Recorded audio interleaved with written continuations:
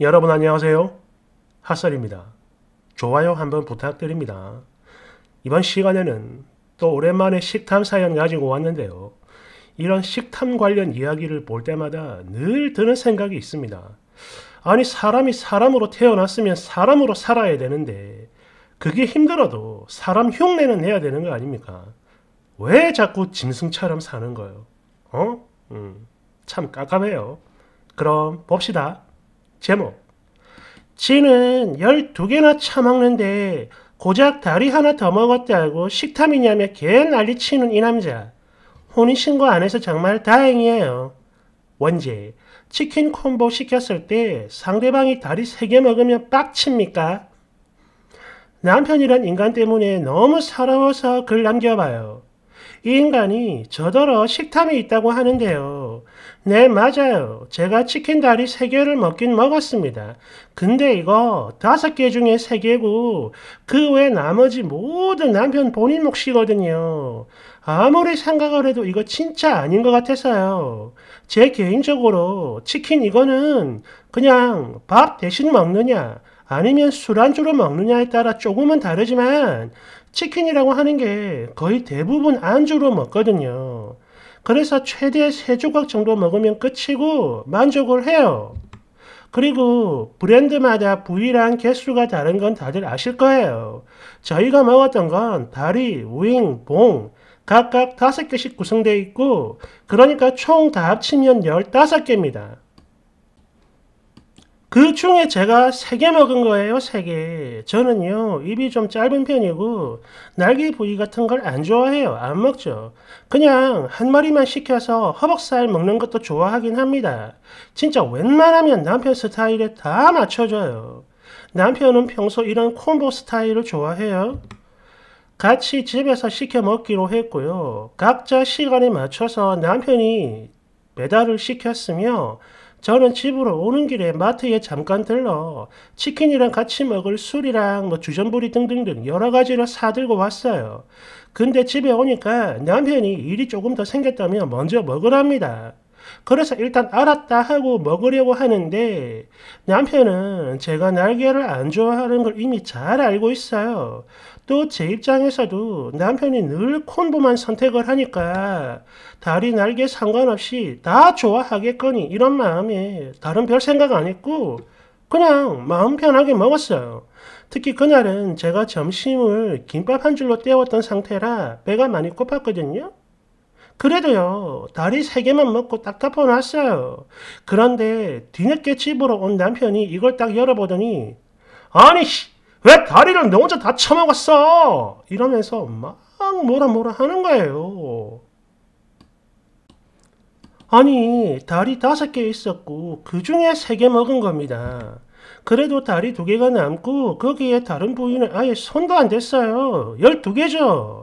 이걸 보자마자 바로 소리 지르고 난리치는 모습 보니까, 아니, 그게 그렇게 아까운 거야 싶고, 너무 서러워지는 거예요. 그게 그렇게 아까우면 그냥 스틱 부위만 시키든가. 아니, 이런 거 저런 거 다 떠나서 다른 것도 아니고 사람이 먹는 걸로 이렇게 기분 나쁘게 하는 게 정말 맞는 건가 싶어서 진짜 엄청 크게 싸웠어요. 평소 저는 아까도 말씀드렸죠. 입이 짧아서 메뉴 선택권도 거의 없어요. 그냥 늘 남편 편하게 먹으라고 양보를 하죠. 자기 먹고 싶은 거 시키라고. 제가 죽어도 못 먹는 게 있어요. 뭐 산낙지, 개불, 꼼장어 이렇게 움직이는 애들 그리고 엄청나게 매운 거, 뭐 불닭 이런 거 못 먹어요. 이런 몇 가지만 빼놓고는 진짜 전부 다 모든 걸 다 맞춰주고 살았는데 그랬던 호의가 결국 이렇게 분리가 됐나 봐요. 나도 사람이고 배가 고프면 평소보다 더 먹을 수 있는 거고 또 원래는 보통 다리 두 개 먹고 과자 같은 거 먹었고 그게 끝이었거든요. 아니 다 떠나서 그깟 다리 닭다리 하나 때문에 이딴 소리를 해? 너무 서럽고 화가 나서 진짜 온 정내미가 다 떨어져요. 혹시 제가 평소에 얼마 안 먹고 늘 양보하고 그러니까 애초에 다리는 다 자기 거다 이런 생각을 했던 걸까요? 그래서 이렇게 화를 내는 건가? 아무튼 지금 진짜 어처구니가 없어서 말이 안 나오는데 혼인신고 전이에요. 그냥 다 모르고 싶을 정도로 너무 화가 나고 서운합니다. 조언 좀 해주세요. 뒤에 후기 있습니다. 댓글 1번 날개 안 먹는 사람이고 콤보로 시켰으면 다리는 자기가 다 먹어라 이렇게 말을 해도 모자랄 판국에 뭐? 세 개 먹었다고 식타민이 어쩌니 이딴 소리를 해? 다섯 개에서 반으로 나누면 2.5개 아니야. 그럼 뭐야? 고작 0.5개 더 먹었다고 전 난리를 치는 거야 지금? 그러면서 날개랑 다른 것들은 지 혼자 다 처먹고 그러면서 뭐? 식탐이라고? 아니 뭐 이런 썩은 인간이 다 있어. 이혼해요. 게다가 먹는 걸로 이러는 거 보면 나머지는 뭐 안 봐도 훤하잖아. 이건 남의 일이라고 쉽게 이야기하는 거 아니니까 진짜 잘 생각하시오. 별꼴이야 정말. 아우 씨. 퇴! 2번. 다음부터는 다리 반 개는 먹다가 남겨두세요. 나 참 진짜 더러워서. 아니 다섯 개 중에 세 개 먹은 걸 가지고 혼자 다 먹었다고 이딴 미친 연병을 떨었다고? 야 만약 써니가 네 개 먹었다면 바로 싸대기 한 대 올렸겠네. 헐 미친. 대댓글. 에? 다음은 무슨 다음이야. 저딴 새끼는 여기서 끝내야죠. 끌끌끌끌끌. 2번. 맞아요. 여기서 다음을 왜 가정합니까? 그냥 끝내는 게 맞는 거죠. 3번. 아유, 그래도 혼인신고 전이니까 얼마나 다행입니까? 나는 남편이라길래 아이고 인생 망했네 이랬는데 진짜 다행이다. 끌끌. 4번. 식탐과 관련 있는 사연마다 댓글 다는 사람인데요. 식탐은 그냥 정신병이라고 봅니다. 일반적인 사고방식이 안 통하고 당연히 대화도 안 되죠. 그리고 정말 신기한 건 대부분의 이런 식탐 거지 같은 것들이 멀쩡한 사람한테 식탐이 있다고 뒤집어 씌운다는 거지. 그러면서 자기는 절대 식탐이 없다고 오지게 우겨요. 설마 저런 놈한테 평생 시달릴 생각은 아니겠죠. 아직 신고하기 전이니까 인생을 구할 수 있을 때 구하는 게 옳은 겁니다. 뒤도 돌아보지 마라. 5번. 아니 어차피 다리가 다섯 개면 둘 중 누군가는 세 개를 먹어야 한다 이건데 그 세 개를 반드시 남편 본인이 먹어야 한다 이런 거야 지금? 꼭 보면 그래 식탐 있는 것들이 상대방 꼽준다고 진짜 상상 초월이네. 긴말 안 합니다. 이거요 앞으로도 계속 영원히 이럴 거고요. 쓰니가 아이를 낳으면 지 새끼한테도 저럴 겁니다. 옛날에 그런 사연이 있었죠. 애 아빠라는 인간이 어린 아들 과자를 자꾸 뺏어 먹어가지고 아이한테도 식탐이 생긴 거. 아빠가 온다 그러면 애가 과자를 먹다가 막 울면서 막 우겨놓고 미친 것들이라니까. 6번. 이거는 쓰니가 먼저 먹어가지고 그런 거 아닌가요? 남편 좀 기다리면 되는 걸 가지고 쓰니도 식탐 있는 것 같은데? 대댓글. 글 안 읽었냐? 하 진짜 대꾸도 하기 싫으네. 케이! 7번. 아니 여기서 쓰니가 먼저 먹어가지고 화가 난 거라는 사람들 도대체 뭐야? 이거는 그냥 쓰니가 다리 세 개를 먹어서 빡친 거라고. 지가 더 처먹어야 되는데 그게 안 돼서 그런 거라니까. 뭘 안 기다렸나느니 이딴 개미친 소리를 하냐고. 만약 진짜로 자기 안 기다리고 먼저 먹은 게 화가 난 거라면 이렇게 다리를 콕 집어가지고 운운하는 게 아니라 자기 그 치킨무하고 콜라 좀 마시면서 기다리지. 에이그 그걸 못 기다렸어? 이런 핀잔을 줬을 거라고. 8번. 아씨 이거 보니까 예전에 치킨 주문할 때 자기 무슨 부위 좋아해? 이렇게 물어보고 내가 가슴살 이랬더니 그래?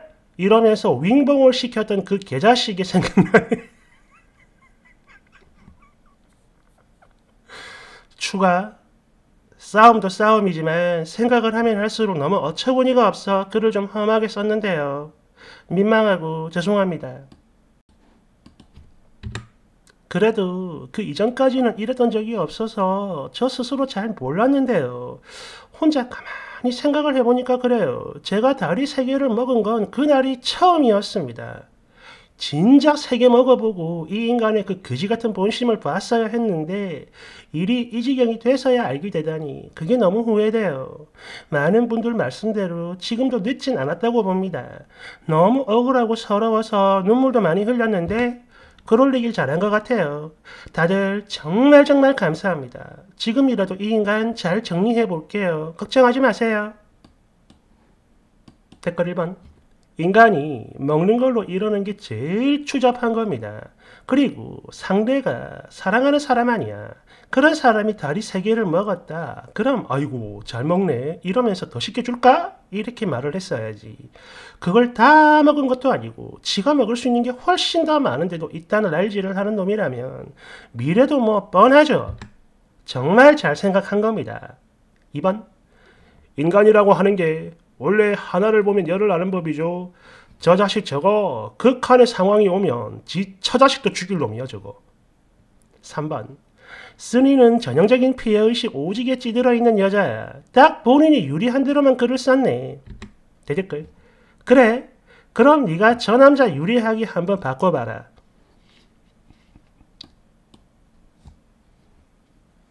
많은 분들이 뭐 공감을 하시겠지만 굳이 이야기를 좀 해보자면 식탐이라는 게 그래요. 저는 정말 그 뭐라고 합니까? 일종의 트라우마, 한 이런 게 있는 사람들 예를 들면 뭐, 뭐 전쟁이라든지 혹은 너무 집안이 가난해가지고 진짜 먹는 것 때문에 사람 목숨이 왔다 갔다 할 정도로 가난했다.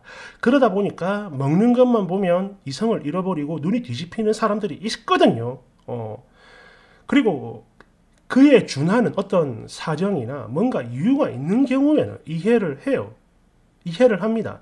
물론 이해까지만 하고 상종은 못하죠. 아 그런 사연이 있구나 이해는 해. 근데 같이 인간관계를 맺어라 하면 못합니다. 이런 사람들도 그럴진데 아무 이유도 없이 그냥 식탐 부리는 것들은 저는 솔직히 사람으로 안 보거든요. 아까 처음에도 말씀을 드렸죠. 그냥 짐승의 본능 같은 겁니다. 왜 짐승들이 뭐 먹고 있을 때 건들면 난리 나잖아요. 그런 그런 거랑 똑같은 거라 봐요. 어. 그리고 자 짐승은 그래도 본능이지만 이거는 그냥 그냥 이기심입니다. 타고난 이기심, 지밖에 모르는 것들. 어. 결혼, 뭐 연인 이런 것뿐만 아니라 그냥 친구 혹은 지인으로도 곁에 두면 안 된다고 봐요. 지금 당장 나한테 피해를 주는 것들은 나중에도 피해를 줍니다. 좋은 일이 없어요. 딱 끊어내야 됩니다. 아시겠죠, 여러분? 음. 감사합니다. 제 말에 공감하신다면 좋아요 한번 팍 눌러주세요. 어. 어.